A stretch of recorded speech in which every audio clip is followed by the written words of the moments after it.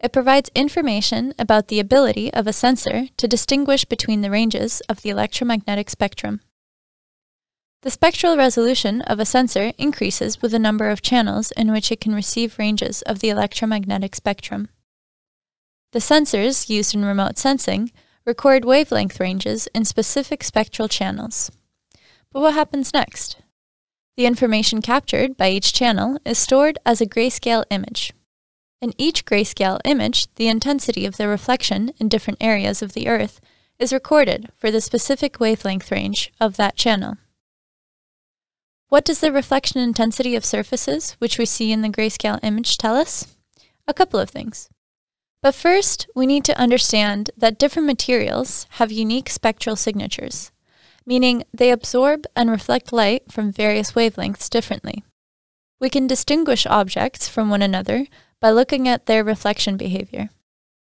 Sensors with more spectral channels allow us to see the spectral signature of an object with more precision.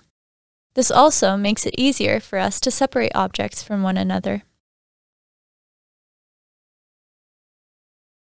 By using the spectral signatures, we can differentiate between healthy and stressed vegetation, as they have different absorption behavior.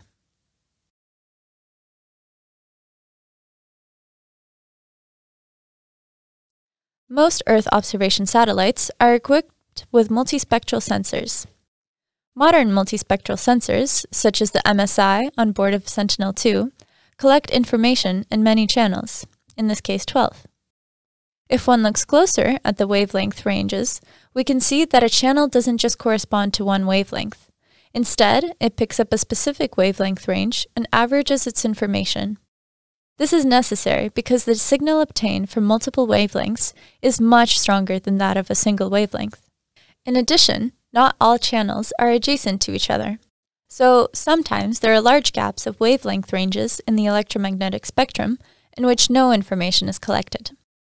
This is because the atmosphere doesn't allow certain wavelengths to pass.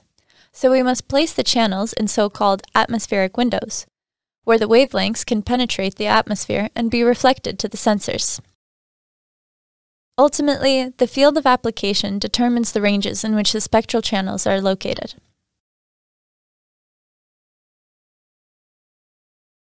Although the spectral resolution of multispectral sensors has risen in recent years, much information about the properties of surfaces is still unknown. Modern hyperspectral sensors are about to close these gaps. Hyperspectral sensors have several hundred channels and thus a very high spectral resolution. They continuously cover a much larger range of the electromagnetic spectrum, but to get this technology into space is complicated.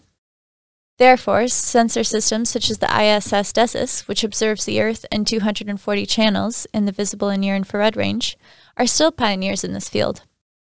However, the opportunities presented by hyperspectral imaging are promising, and the first operational satellite systems with this revolutionary technology are about to be launched.